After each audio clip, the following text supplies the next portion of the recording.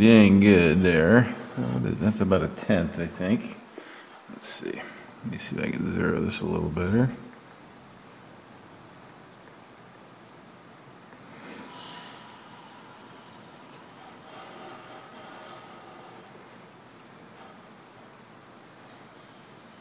I can't, hey, I, I could look in the camera, I guess, huh? All right, so let me see if I can tighten this up without moving anything. Let's drop the pin in there and we'll lock it. That way I can put a little gronk on it.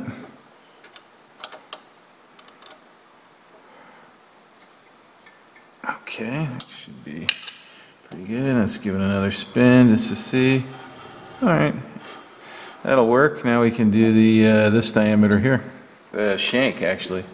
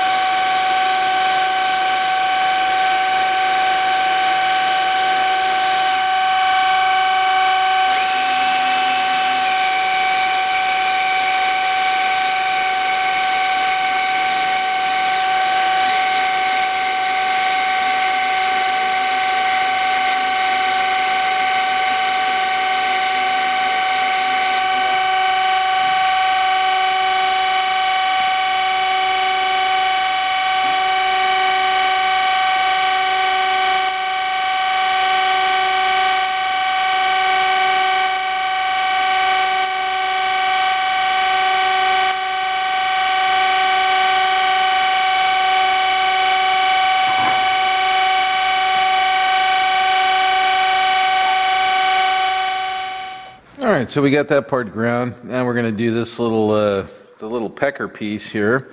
Um, we're going to use the little wee blocks in this case to hold this, which is kind of a cool little tool.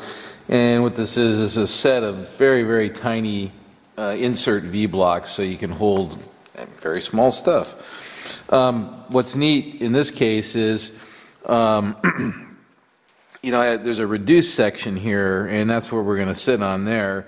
And so it kind of uh, bridges that little, uh, um, or well, the two larger diameters sit on the outside. So now we can we can dial in on that, on this, and then grind that, and then uh, we'll flip it around and do the other side. So uh, let's uh, let's go ahead and put it on there instead of yapping about it, right? Put that in there. Like that. So I need a little bit of room to get an indicator up in there. So uh, yeah, but I don't want the uh, this to touch the edge of the V block there. Okay, that looks pretty good. So I'm just gonna put a little baby gronk on that. And then uh, this is 90 degrees, so it sits in a normal V block. Okay, um, kind of like that. All right. So it sits in a normal V block and you, you hold that in a normal V block. And you can hold some really, really tiny stuff. Look at that one. It's just, you can hold a wire in there basically, which is kind of, uh, kind of handy. All right, so let's go uh, drop that in the whirly gig and uh, give that a little spin job. All right, so we got that in there and you can see it's pretty far out. So uh, let's dial that in. First we'll lock that and we're going to loosen the loosen the V block like that. Actually that's probably enough. And then let's get it back and rotate. Alright so it's, it's high right now. Right. so you know I just kind of do a little eyeball centric there until uh, it's looking pretty good kind of like that then I, you know, then I, it's in range of an indicator now. So what I'll, I'll, I'll get an indicator up in there, and we'll uh, we'll dial that sucker in. All right, so we get the, uh, small indicator on it here, or the tenths indicator. Let's see what we got here. Hmm. Get a little lumpy bumpy in that or something. Huh? All right. So it's high on that side, so we need to come down on this side a little bit. Oops, yeah, see, you gotta bump it around a little bit. Come on.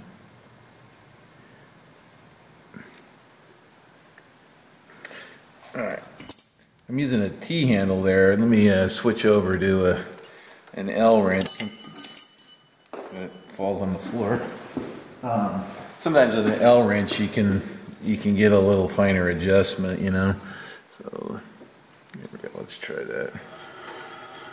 That's actually pretty good. Two tenths. You know what? I'm gonna. I'm not gonna try to get it any closer than that. It's kind of lumping around a little bit, so let's uh, lock it. All right, and then tighten up the levi block. That's French for uh, V block. Oh, come on, get it in there.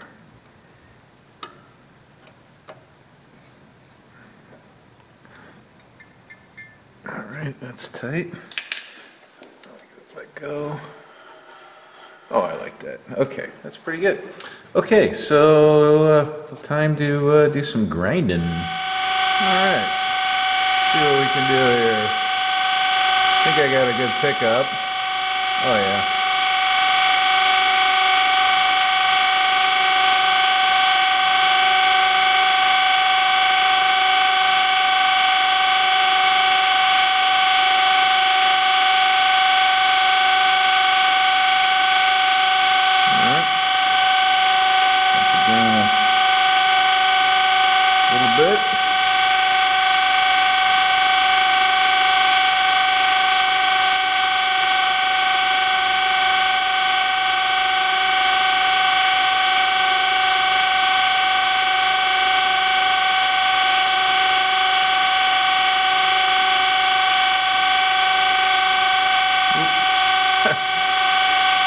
Myself out there.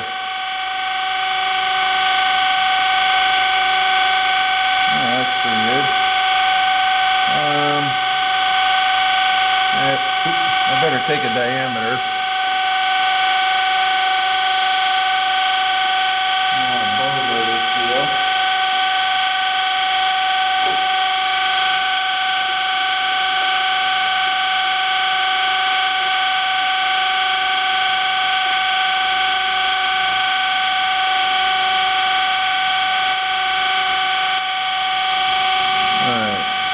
70.